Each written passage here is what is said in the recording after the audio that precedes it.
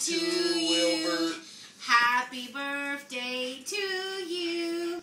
Happy birthday, dear Wilbur. Happy birthday to you. Okay, blow your candle out. Blow it out. Good boy! Do a fire. Dear, that's for you. Oh, yes, I got one for you too, Mama. Is this hers? Yeah, that one's hers. Here you go, Iris. Is it good? Uh oh, we got company. Go see.